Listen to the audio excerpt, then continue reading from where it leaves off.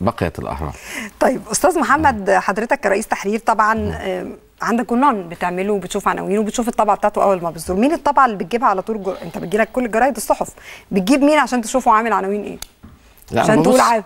لا ببص على على كل الصحف من طبعا ينافسك الصباح. في السوق المصري كصحافة ما فيش حد قومية بينافس؟ الأهرام في مصر في مفيش حد بيستحمل. آه.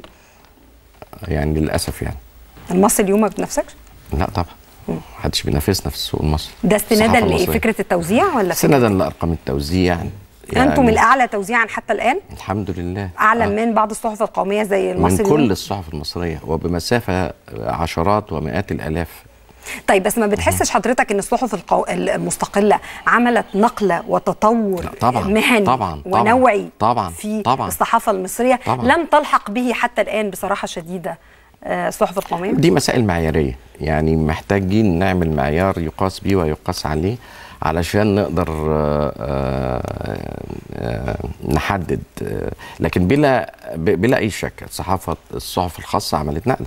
طبعا. لا ما حدش يقدر ينكر ده طبعا. عملت نقلة وأفادت الصحف القومية بل بل كانت في بعض الأحيان آه، وسيلة ضغط للتطوير للتطوير.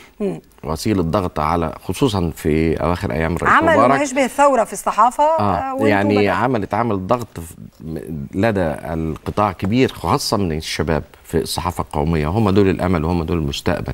اللي هتبان عليهم بصمات اللي هتبان على الصحف القومية آه بصمات التطوير إن شاء الله في السنوات القريبة القادمة.